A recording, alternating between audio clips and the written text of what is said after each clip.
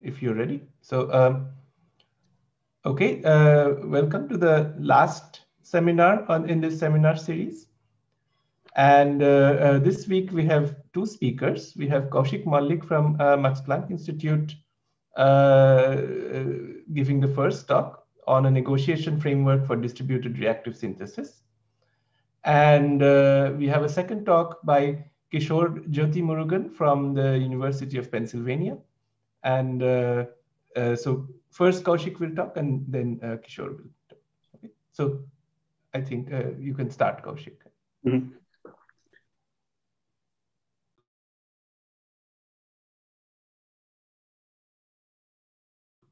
Please unmute. Yeah. Yeah. Okay, good. Uh, thank you for the introduction. And uh, yeah, I'd like to thank uh, all the organizers for inviting me to give a talk here. So I'm going to uh, present a recent work that I did with Rupak, Anne-Kathrin Schmuck, and Damien Zufferey here at Max Planck Institute for Software Systems in Germany.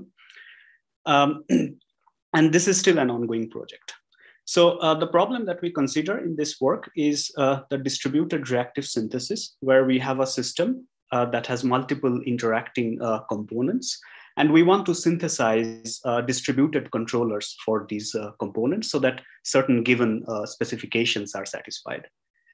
And uh, our approach involves the components engaging in a negotiation in order to resolve conflicts by means of making promises and return promises to each other.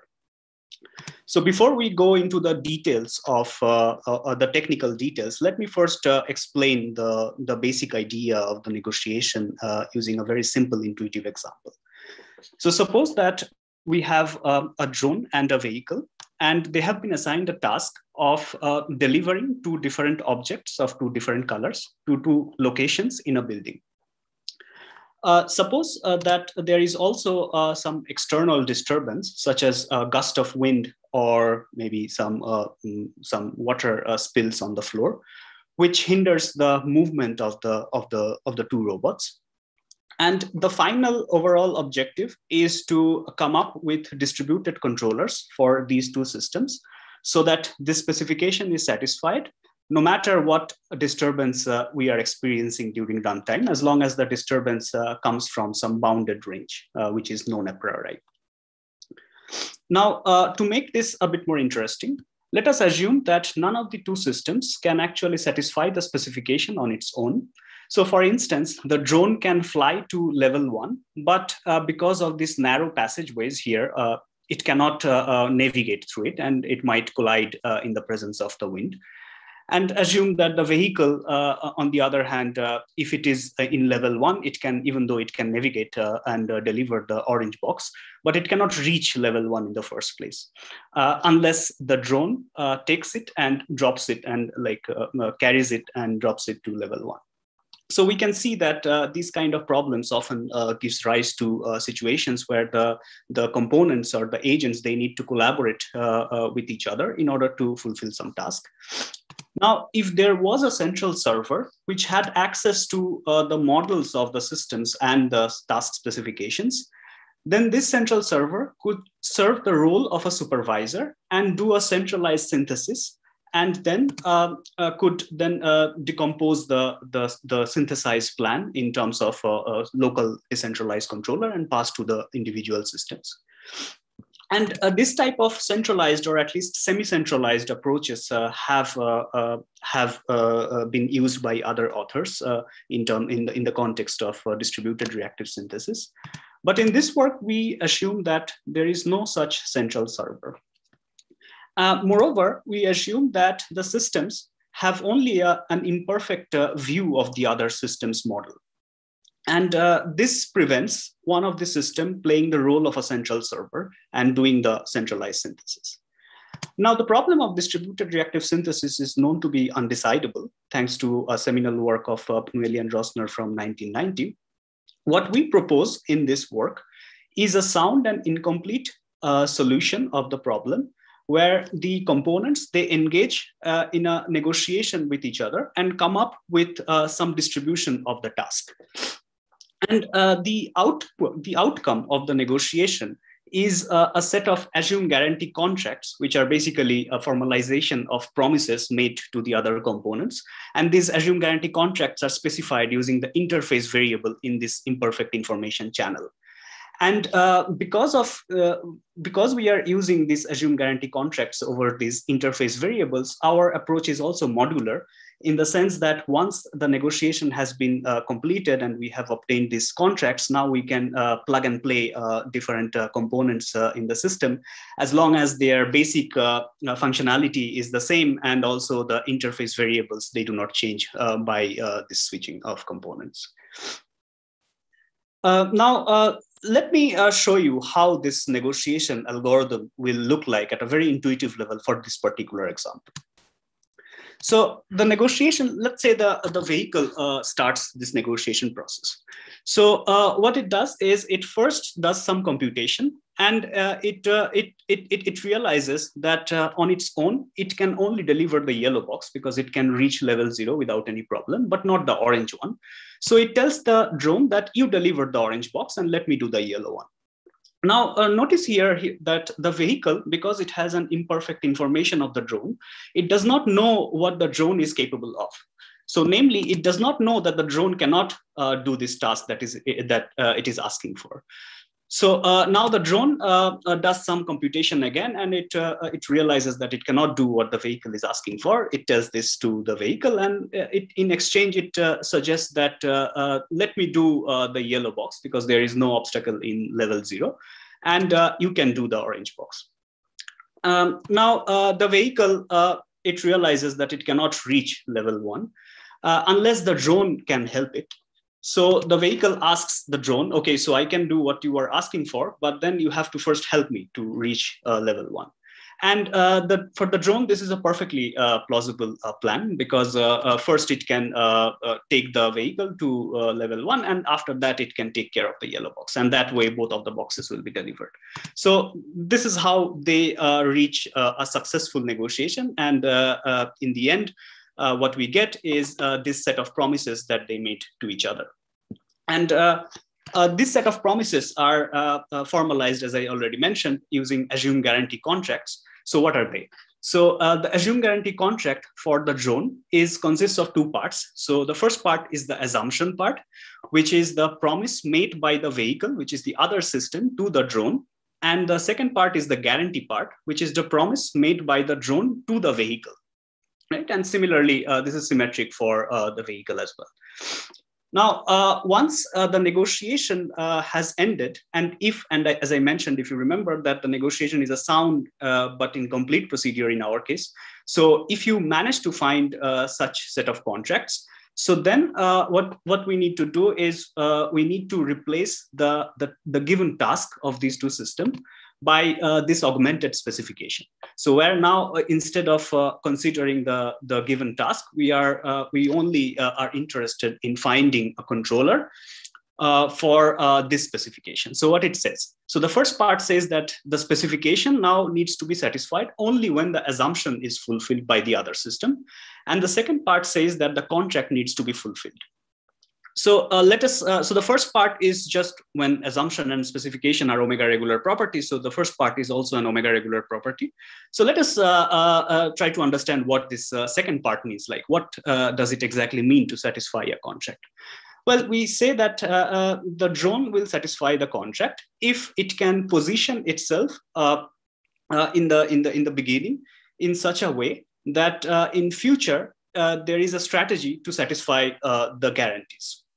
Now, from all the next time steps, what is uh, what the drone has to uh, uh, do is to uh, ensure that the guarantee is satisfied only if the specific the assumptions have been satisfied by the vehicle in all the past time instances. And if the drone has a strategy so that this this uh, uh, this conditional satisfaction of the contract is can be fulfilled, then we say that the drone can realize the contract. And similarly for the vehicle. So now, once we uh, have the contract from the negotiation, all we need to do is we need to modify the specification, and then we need to find a strategy, which is a realization strategy for these uh, uh, augmented specification, and that will be the controller that we were looking for in the beginning. Um, and uh, what we uh, get out of this is uh, if the if both of the systems they satisfy their assumed guarantee uh, contracts then this will imply uh, with a chain of inequalities uh, the satisfaction of the specification. And this can be roughly uh, shown by by doing an induction over time now, uh, this type of assume guarantee reasoning for circular uh, uh, systems, it's not nothing, it's, it's not anything new. So this has been uh, in existence in uh, verification community or in other uh, synthesis contexts as well. But mostly what we have realized is that people look into, people assume that the contracts are given and we are interested in proving correctness of by, by, by proposing some proof rule. But here, what we are doing, what is new in some sense, is that we are starting from the system model and the specification, and then we are synthesizing the contracts in such a way that they are compatible. Now, the closest related work is uh, perhaps uh, this uh, uh 2015 paper by Rajeev and others, uh, where uh, they do a pattern-based refinement of assumed guarantee contracts. So, but in their work, unlike us, they only consider one-way interaction between the system and uh, um, uh, and uh, so so you can see whereas we consider two-way interaction among the system. And uh, also uh, we use a completely different kind of approach uh, in our work.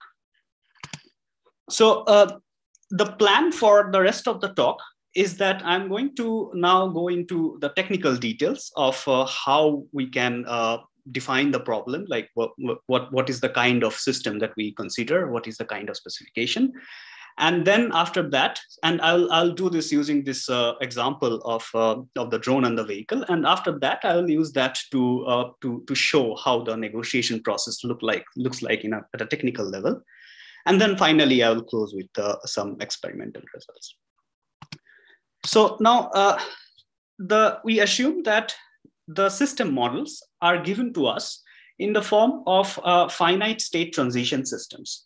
And these transition systems, so, uh, so this is the transition system for the drone and this is for the vehicle. And uh, these transition systems, they essentially capture the three-way interaction between the system, the other system, and the external environment. Now, uh, uh, so the uh, vertices of these uh, transition system, they are the states of the system. And the labels that we that you see here, they are basically uh, the observable behavior, the observable behavior of the system. So meaning that uh, when the drone is in, uh, uh or let's say like when the vehicle is either of these two states, so then the drone observes uh, uh, the idle behavior from the vehicle. And observe that for one observable behavior, the, the, the, system can be in multiple, multiple possible states. And this is the partial observability that I previously talked about. Um, now, uh, let us, uh, okay, so now uh, the three-way interaction that I mentioned uh, is uh, modeled using, uh, using a turn-based fashion. So where we have partitioned the state space of the, of the system into three parts. So the first type of states are the ones which are the circles, which are controlled by the system which means that when the system is in a circular state, the system can choose one of the outgoing edges to choose the successor. Um, when the uh, when the system is uh, in uh, one of the diamond shaped states, so these are the environment control states, and the environment chooses the successor, and these are shown by dashed arrows. And uh, when the system is in a square state, so these are the states which are uh, controlled by the other system. And as you can see that uh, the transitions, the outgoing transitions from the square states are labeled with the observables of the other system. So here, uh, when we are in wait, when the drone is in wait state, so then it can either go to A or remain here, depending on whether the other system is producing observable capital A or idle. Um, now, uh, there are these uh, special states uh, orange and yellow. And we have labeled here, in this case, uh, the, the boxes A and B. And we assume for simplicity that uh, it is required that A needs to be delivered before B. So here the orange states are basically uh, uh, the those states of the drone where the drone has sensed that A has been delivered and uh, the yellow state is the one where the drone has sensed that both of the boxes have been delivered. Right? And uh, uh, yeah and uh, so now if we if we look at the overall uh, transition and what uh, what it means is that you can see like uh, what so this basically models all the features that i mentioned earlier that when the drone tries to deliver a then the environment can make it crash to the wall and it might uh, not be able to satisfy the specification. Whereas uh, uh, uh, the other option for the drone is to lift the vehicle to level one and then wait for the vehicle to uh, deliver A and then after that deliver B and so on. And similarly for the vehicle, right? And now given these two these kind of transition system for these two uh, uh, components and given their local specifications uh, uh in terms of some omega regular properties uh, specified using their states of the system. So, okay, so one thing I forgot to mention here, for simplicity, I assume that the specifications are the same for both of the system, but this does not have to be the case. Um, so given all these ingredients, what we want to achieve is one, we want to uh, find a procedure that will give us um, a pair of assume guarantee contracts for these two systems. And uh, notice here that uh, for the drone, the assumption has to be uh, given in terms of the observable behavior of the uh, of the of the vehicle whereas the guarantee has to be given in terms of the observable behavior of the drone itself and similarly for the vehicle right uh, uh, so by the way, so please feel free to ask questions if you have any. So uh, if this was clear, uh, then uh, let me uh, straight away jump to the, the negotiation algorithm. So now uh, the negotiation algorithm is an iterative procedure. So it, it proceeds in, in rounds. Uh, and uh, initially, one of the systems starts the negotiation. Let's say the drone starts the negotiation. So initially, uh, it has the trivial contract, which is which says so. Here, the top symbol means like all possible behaviors are allowed. So here, uh, it means that the drone assumes that all possible behaviors are allowed from the vehicle, and uh, in in return, the drone can also produce any all possible behaviors. And this is the drone specification itself. So uh, initially, uh, we start with this kind of contract. And what we do is in every iteration, we uh, uh keep on refining the current contracts based on, uh, yeah, we keep on refining the current contracts. And um, yeah, and uh, one, one possibility is that in the beginning, uh, both of the systems can satisfy their specifications without any help from the other system. In that case there is no need for any negotiation. In that case the the trivial contract the pair of trivial contracts is the uh, outcome of the negotiation you can say. Otherwise as you can see here uh, the, the, the drone uh, which wants to reach ab it might need some help uh, to resolve these kind of self loops from the other system so let's see how it proceeds so first uh, the drone realizes that this move like where it starts from init uh, for, from the initial state. And if it goes towards the left, so then the environment, which is the external uh, entity, and this is adversarial from which we cannot expect any help, can uh, can uh, make the system crash and uh, make the system uh, lose the game, like falsify the specification. So this is not an option, right? So the other two paths. So there, the vehicle can producing this idle observable can uh, trap the drone in these two states forever, right? And the drone might not be able to reach AB. So what the drone now needs to tell is to come up with some uh, sufficient assumption on the behavior of the vehicle so that uh, that will allow the drone to satisfy its current specification, right? And uh, we, uh, we, we only restrict ourselves to uh, safety languages for specifying this sufficient assumption. And this is simply because it is not clear to us like how to uh, prove correctness of circular assume guarantee reasoning when the assumptions and guarantees are given to us as liveness languages. Um, and uh, so this is still under restriction. And as I said, this is still uh, an ongoing work. And uh, uh, here, I one thing I would like to say here. Okay, so here, uh, first of all, uh, you, you, can you can verify that this is indeed a sufficient assumption. So what it says is that uh, in the next uh, two time steps from the beginning, idle should not occur. So and that will enable the drone to immediately.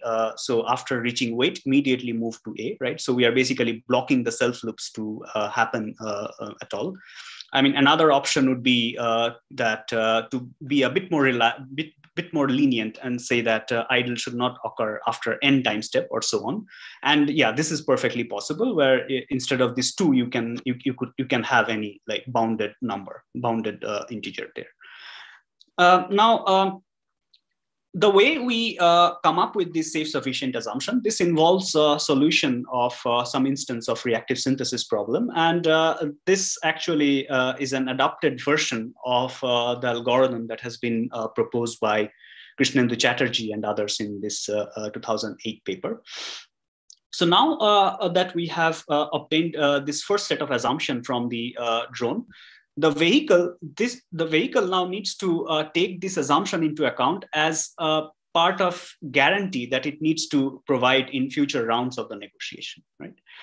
And uh, now uh, that the so now uh, the the vehicle's effective uh, specification is this one. It still doesn't have any assumption yet because it hasn't made any assumption uh, so far and now uh, uh, the vehicle now has to again uh, come up with uh, some additional set of assumptions that are required. So for instance, uh, if it wants to uh, make sure that this guarantee is satisfied, so it has to make sure that this self loop here is not taken by the by the drone, right? I mean, otherwise there is no way the vehicle can avoid producing an idle in the second time step. So yeah, sorry. Five minutes. Yeah, yeah, okay and uh, uh, yeah, and uh, the second part comes from the fact that the vehicle also has its own specification right? And uh, this uh, gives us uh, this gives us the new set of assumption which now the drone has to take into account as a set of guarantees.